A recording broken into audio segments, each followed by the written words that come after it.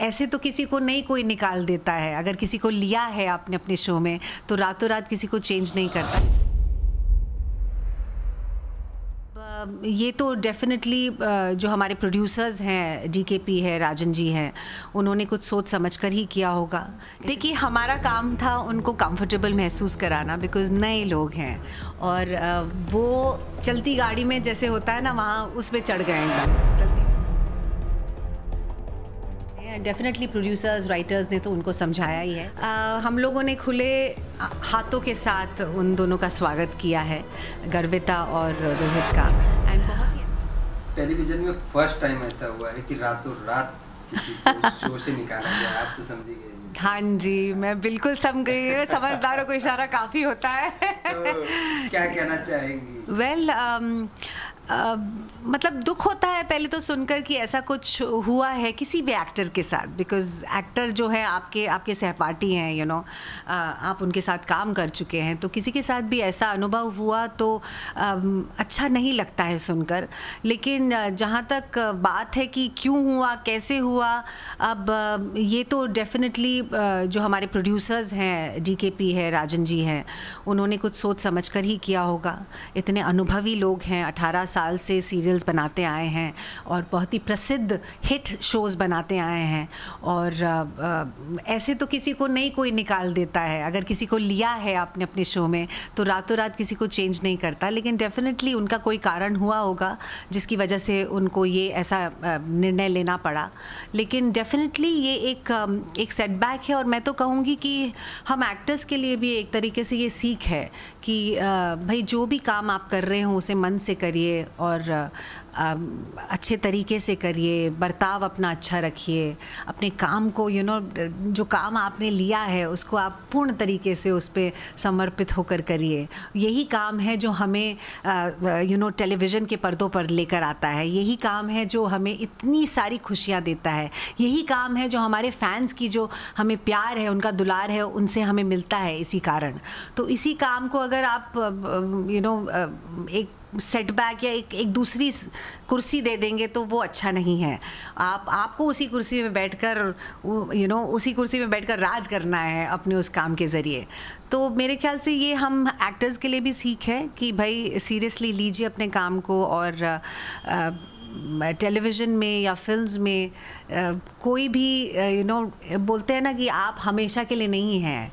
आप को, किसी कोई यू नॉट इनडिस्पेंसिबल मतलब कि आप कभी भी किसी से भी चेंज हो सकते हैं।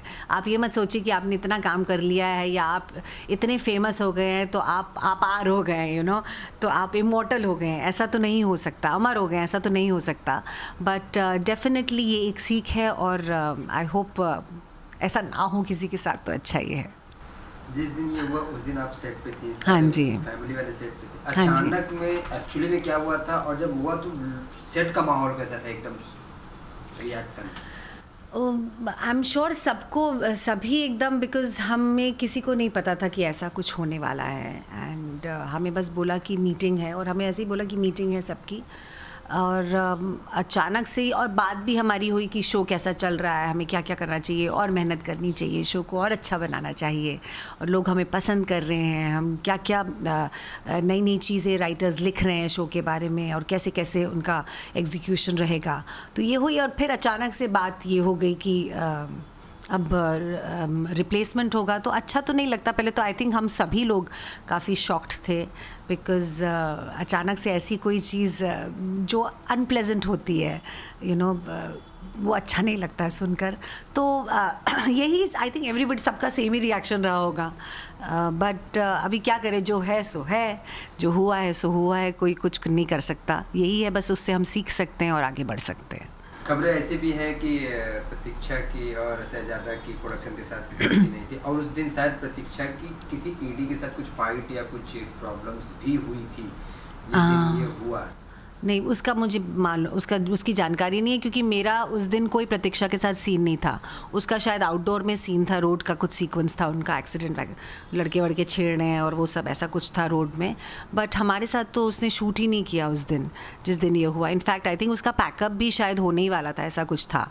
एंड बट uh, uh, किसी किसी के साथ किसी डिपार्टमेंट में किसी के साथ uh, कुछ बात हुई है उसकी ये तो ये आई थिंक हमें नहीं पता इस बारे में तो कुछ।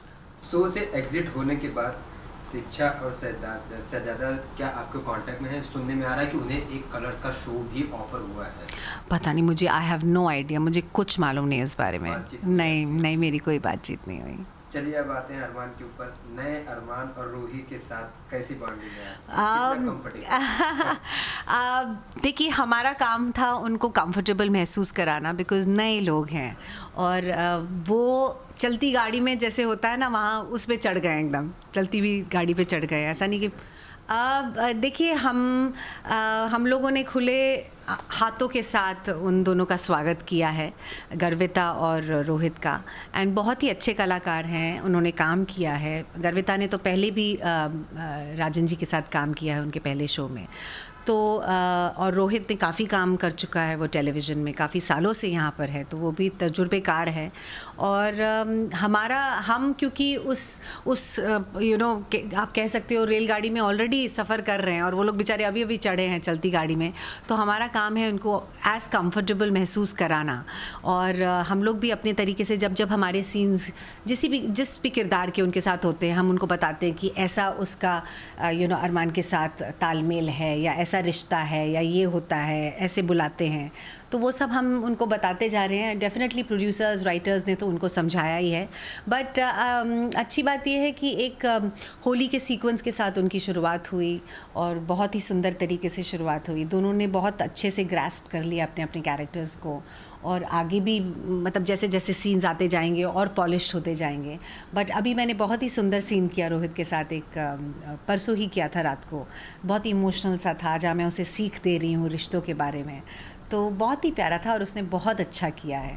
और गर्विता मज़ेदार है, चुलबुली लड़की है नई है एक तरह से बोलेंगे आप, लेकिन उसके अंदर भी जिज्ञासा है नई नई चीज़ें सीखने के लिए।